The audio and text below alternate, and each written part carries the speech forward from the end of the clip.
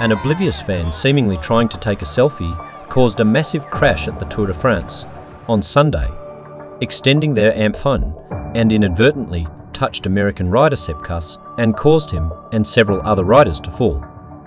There was a narrowing in the town and a spectator in the road, and I guess he just clipped my handlebars, Kuss told the outlet. Luckily, I'm okay, and hopefully the other guys in the crash are alright. It's not ideal.